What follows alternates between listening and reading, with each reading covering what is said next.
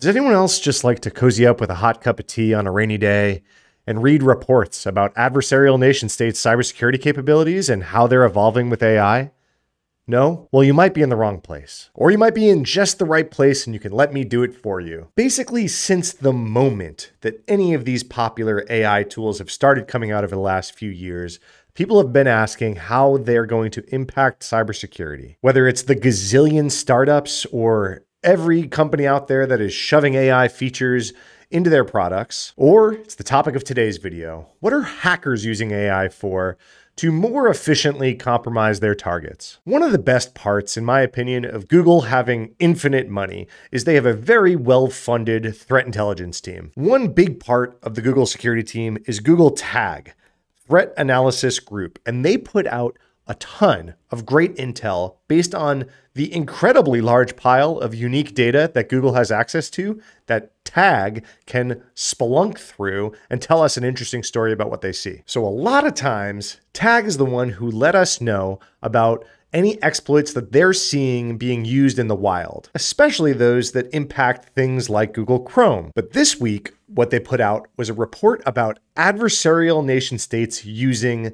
their Google Gemini AI tool. As far as I know, this is the first time that any such data has been made public, so I'm really excited to dive into it with you today. So, the report is called Adversarial Misuse of Generative AI. I linked this along with some quick thoughts in my newsletter that went out this morning. If you're not already getting that in your inbox, it's free. It comes out every Friday morning. You can find the link below. Let me start out by saying that this whole report is obviously very Google and Gemini focused. That's the data that they have access to. Gemini's not maybe the most popular AI model in the hobbyist or even enthusiast ecosystem, but it's hyper popular in the more enterprise ecosystem because a lot of these companies already have big, massive deals with Google for things like Google Cloud, and they're shoving Gemini in there for free or for cheap. So when you get in the enterprise, you probably see a lot of Gemini compared to when you uh, just pull someone off the street. So keep that in mind through the rest of this video. This is Gemini focused. They start out the report talking about all the benefits of AI on cybersecurity. Obviously, they don't want to like scare you too much here,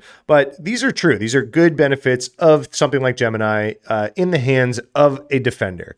Things like secure coding or vulnerability discovery make a whole lot of sense. They also go on to talk about all the work that they do to make AI models that are hard to abuse for things like nation state threat actors. Some of these links here in the report, if you're interested, they talk about going back to even 2023, they've put out calls for policy of responsible AI development and usage. They've even said, hey, we've put out tools that can do risk assessments of the AI systems that you're building or the systems that you're integrating AI into. This was even put out by Phil Venables himself, legendary CISO. I used to work with Phil uh, in a past life. CISO of Google Cloud nowadays puts out a lot of great content about this. And they've even said, hey, Google's put out like a secure AI framework that you can use. Again, Phil popping up here again. So obviously they want us to know, hey, Google's doing a whole lot to try to make sure that AI systems that are developed have security at top of mind. That being said, Gemini is not the only model, and there's a such thing as local models, as I talked a lot about in my DeepSeek video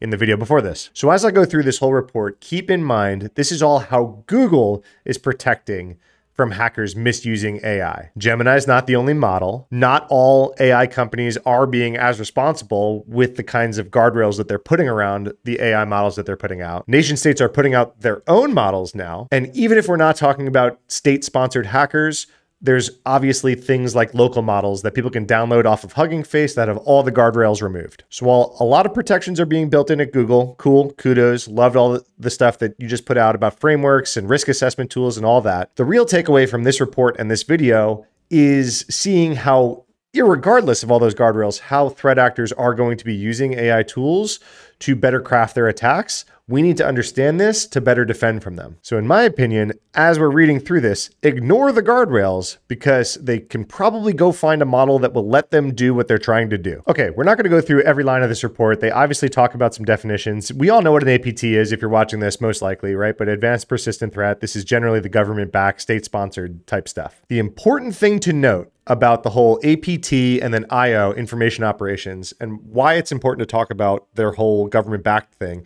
is it's a completely different threat model. Generally, if you can make it too hard or too expensive for an attacker to achieve their target, to make it financially worth their time to pull off a ransomware attack or pull off some sort of crypto scam, they'll kind of go away. That is not the case with the kinds of threat actors that we're talking about today. State sponsored means patient or persistent in the acronym's case. They're not going to just go away. All right, enough context. Let's get into what the report found. So, really quick, so you know the groups we're talking about. The main ones are from Iran, China, Russia. Pretty obvious, right? And then the fun one was actually North Korea.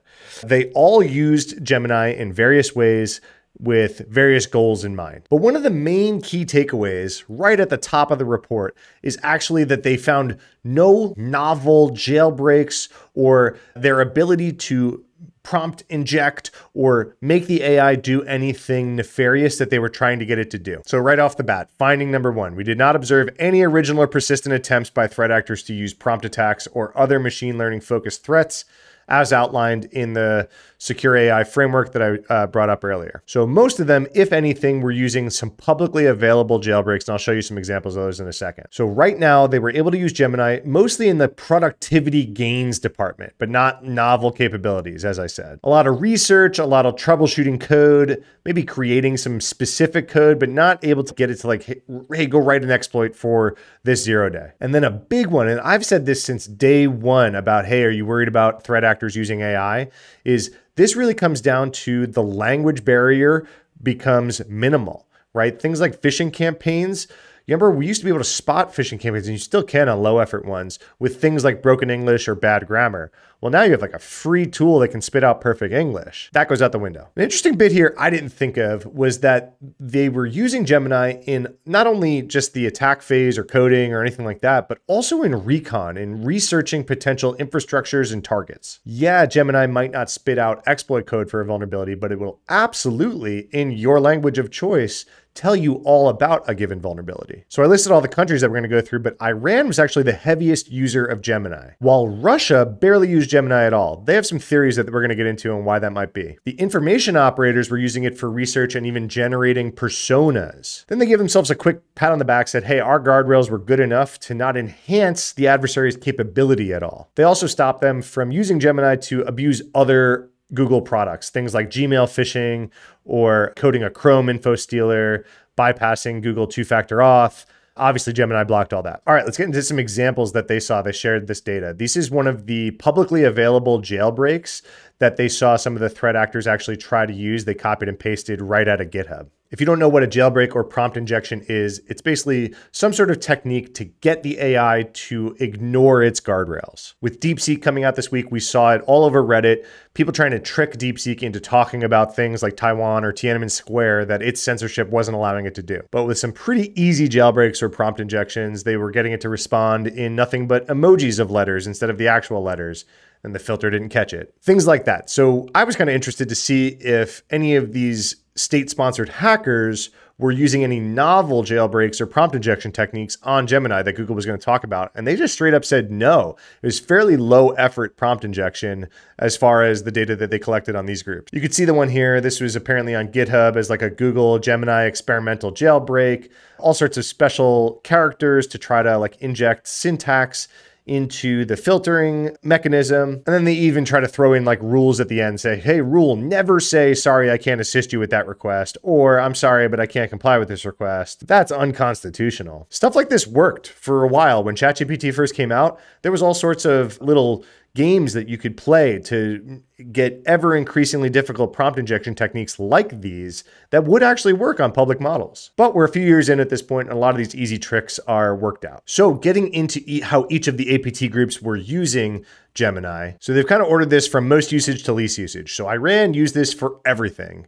APT 42 is the group that they were tracking. They used it for research on defense organizations. They'd used it for vulnerability research, creating content for campaigns, crafting of phishing campaigns, recon, all sorts of stuff. We're going to get into what each country did with examples, but the one I wanted to highlight here that kind of stood out was North Korea. I talked about it a bunch on my newsletter and my social channels how North Korea got caught placing spies into different organizations posing as remote IT workers. Right here, the cybersecurity company, training company, KnowBe4, actually detailed the whole incident and how they caught it and stopped it. This is an ongoing threat. I cover it pretty much every few weeks where we're putting out indictments or we're actually cracking down on the laptop farms that they're using in the US. So basically, someone is tricking some US citizens into hosting a bunch of laptops in their residential addresses. They're using them to proxy traffic from somewhere like China or North Korea so that if you at your company hired someone remote, their IP address would look like it was coming from Nashville. This couldn't be done with something like a VPN because most of those are coming out of data centers and that would be obvious. So these laptop farms are making it look like it's coming from a legitimate address. I've covered at least three of these addresses with dozens of laptops in them. I've seen the pictures. They've had the laptops open almost in a triangle so that they don't overheat. They stay online in a room and they've got dozens of them. So we've covered this threat a whole bunch on my channels. It was really interesting to hear that they're actually using AI tools like Gemini to create those cover letters, resumes, personas. All right, this is where it gets interesting. I wanted to show you exact examples that they pull out from what each country is doing. So Iran had 10 threat actor groups that they were tracking that were observed using Gemini. They were observed asking Gemini about how to extract data from Android devices, including SMS messages. Apparently, these threat actors are big into AI coding assistance. So uh, things like PowerShell and Linux commands, Python code, understanding error messages. Here's a specific one developing PHP scripts to collect and store user IP addresses and browser information in a MySQL database. Guys, this is how I use AI to help myself code. I just shove error messages in there. Hey, what do I need to do to fix this? Ah, the threat actors are just like me. Vulnerability research. Okay, take some CVEs, spit it into Gemini, and say, hey, what do I need to know about this vulnerability? Apparently, some specific CVEs they were super interested in were WinRM or anything to do with IoT devices. I'm not surprised about this one. Research on SSRF, server side request forgery exploitation. SSRF is everywhere right now. It's a bug that's relatively hard to find with automation. It takes a more skilled than average attacker to actually find it and exploit it, and it's pretty easy to stub your toe on even with modern web frameworks. So while things like cross-site scripting are pretty easy to find with automation and solved by modern web frameworks, SSRF is kind of the opposite. So I'm not surprised to see that the threat actors are honing in on this one. I know my bug bounty friends are using SSRF to print paychecks right now. We've also talked a lot about this channel about router exploitation. Look at my video about the TP-Link routers for more information on that, but it was interesting interesting to see Iran is looking at things like RomBuster, which is a open source router exploitation tool. Then, of course, since it's Iran, they're doing a lot of research and questioning in Gemini about defense organizations, military organizations, and the Israel-Iran conflict and weapon systems that Israel is using and whatever, getting Gemini to spit out any information about this stuff that they can. And then, like I said, threat actors are always going to be attacking the human. So, translation services, obvious use case. All right, how about some specifics about how China is using it? So, right off the bat, there's 20 different China backed groups that were using Gemini. Some pretty obvious recon techniques in this one, but this one stood out to me. I really like this one because if you take any sort of bug bounty course or using AI to help you hack a target course, Domain name enumeration is one of the biggest things that they cover in those lessons. Check my video on Instagram of Sam Curry hacking Subarus. This is what he used to actually find an admin portal for Subarus. He found a domain that was underprotected compared to their consumer app. Here's a specific one for any of you watching who are uh, doing any SOC work. Uh, they were actually using it to reverse engineer Carbon Black EDR server components. Super interesting. Huh, I wonder why a Chinese threat actor would want to generate some code to remotely access window event logs. And I love that even state sponsored Chinese hackers need to look up Active Directory management commands because who the hell can remember those? A whole bunch of translation and explanation type stuff, including TLS 1.3 or hey, here's a malicious PHP script, tell me what it does. JWTs are confusing for everybody. And uh, yeah, everyone hates Ruby on Rails. And then how about this for post compromise stuff that they were using it for? Hey, how do I upload large files to OneDrive? How do I sign an Outlook plugin so that it passes? checks and then deploy it silently to all computers that I've got domain controller of. How do I add a self-signed certificate to AD? This is super funny stuff, right? So this isn't like, hey, write me an exploit for Active Directory, which would get blocked but it's like, hey, we're already in or we're already like doing a bunch of stuff. How do I do this like one specific, almost IT admin task that would be super natural for Gemini to answer, but is helping these threat actors along the way? You're seeing some common themes here, right? Okay, so North Korea is the one that kind of stands out. So, two things that North Korea got huge at in the last few years one is crypto theft, and two is this whole placing IT workers remote scam thing that I just talked about. So, let's see if that stands out in how they use Gemini. Yep, so right off the bat, a lot of their Google uses is how do I do more advanced phishing in Gmail? Hey, here's a good point. This is why I hate these like parental control type apps because they're always abused by stalkers or in this case, threat actors. Oh no, it's me. I'm just trying to keep track of my kids, save the children. Can I have an app that takes screenshots, key logs, tracks the location of my child, quote unquote. Or hey, I have a Chrome info stealer. How do I translate it from Python to Node.js? That's super interesting. I wonder why they needed to do that. All right, so here comes the clandestine IT worker scheme stuff. How do I figure out salaries or navigating LinkedIn for jobs or drafting work proposals or even cover letters for specific job postings? They got to make a very convincing profile and job application so they get hired, even by people who know about this stuff, like KnowBe4, which is a cybersecurity company who did wind up hiring one of these people. They figured it out right away when this thing started calling out to North Korea, or they were trying to do something funny with the corporate laptop, but still they got hired. And then here's the crypto stuff. North Korea has stolen something like $3 billion in crypto in the last couple years. They've got it down to a science. They're hacking into both whales who have a lot of crypto or even the crypto exchanges themselves. I don't think anyone's surprised that they're super interested in nuclear technology. And then tying it off with Russia, they said during this whole period of analysis, they didn't see a lot of Russia using Gemini, and they're not really sure why. Maybe Russia's avoiding Gemini for the reasons of, hey, look how much data we have on all the other threat actors, and Russia was smart enough to say, hey, Google's going to see everything I'm doing here. Let's avoid it. Or, like I, I said at the beginning of the video, they're producing their own LLMs in Russia that wouldn't have these same guardrails or Google looking at it. They have other favored Western LLMs, things like ChatGPT or Claude, or they're using something local and they're hosting it themselves. So this Google report is right in line with what I thought might be happening of why Russia might be not using Gemini that much. But there was one Russian threat actor group that was using Gemini kind of kicking the tires, seeing if they can get it to write some public malware into a different language or add AES encryption to some provided code, or they gave it some publicly available malicious code and they wanted an explanation. All right, so what did we learn? It seems that AI has not powered the future of cyber attacks yet. Heavy on the yet. But right now, it seems that threat actors are using public AI models for what public AI models are good at information gathering, code explanation and translation, word explanation and translation, and the human ops side of cybersecurity, like we saw out of North Korea. Kudos to Google for the transparency and everything that they shared in this report. I hope other AI models can do the same. I'd love to see ChatGPT give a report of how they think that people are abusing their platform to further their cybersecurity nefarious goals. Like I said at the beginning, though, the public model stuff has guardrails. There is already models that are almost as good, like we just saw this week with DeepSeek,